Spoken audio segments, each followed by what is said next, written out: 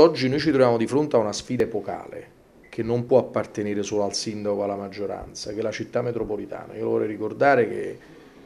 noi ormai siamo area metropolitana, io sono sindaco metropolitano, mi dovrò confrontare con 92 sindaci,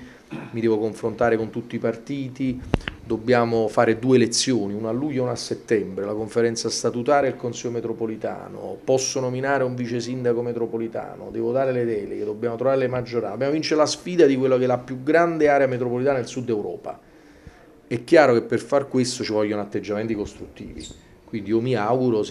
di trovare nelle prossime settimane, nei prossimi giorni, un approccio di condivisione, come ho sempre detto, il partito di Napoli o adesso il partito dell'area metropolitana, insomma ci si divide nei momenti elettorali, ma poi dobbiamo trovare le ragioni dello stare insieme pur mantenendo ognuno la propria autonomia, la propria diversità, nell'ottica della massima condivisione e concertazione possibile, cioè non ci sarà nessun atto che faccia apparire una posizione di supremazia da parte del sindaco metropolitano, pur nel rispetto ovviamente della cornice della legge che è molto chiara e dà delle attribuzioni molto molto chiare. Adesso bisogna subito iniziare un rapporto molto forte che in parte abbiamo già cominciato con la provincia uscente e poi con tutti i sindaci dell'area metropolitana.